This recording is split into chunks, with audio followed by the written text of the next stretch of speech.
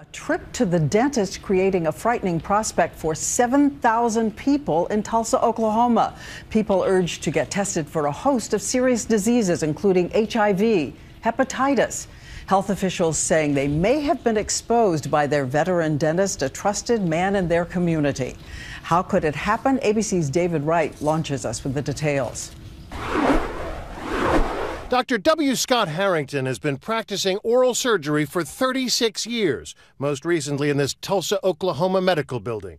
But authorities are now concerned he may have exposed thousands of his patients to potentially deadly infections. The instruments that came out of the autoclave were horrible. I wouldn't let my nephews play with them out in the dirt. I mean, they were horrible. They had rust on them. Authorities say letters will be sent tomorrow to 7,000 patients, recommending they be tested immediately for hepatitis B, hepatitis C, and HIV.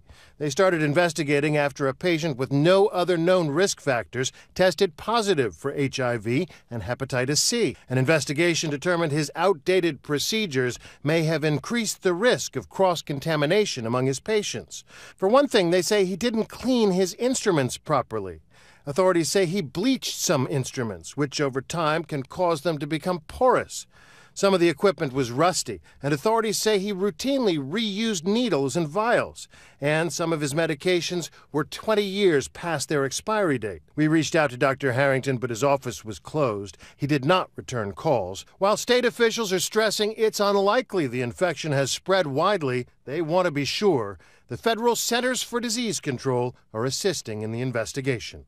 David Wright, ABC News, Los Angeles. And I want to bring in ABC's chief medical editor, Dr. Richard Besser, now, because, Rich, 7,000 people? What does this say about scope, severity? Well, I mean, this is absolutely unbelievable if these allegations are true. I talked to the CDC today, and with the millions of people who see the dentist every year, there's only been a handful of infections transmitted over the past 20 years.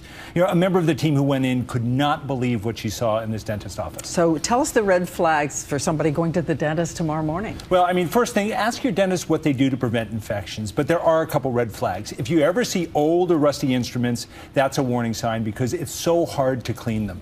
Another is if your dentist isn't wearing gloves or isn't changing gloves between patients, that's another red flag. That's a time to find another dentist.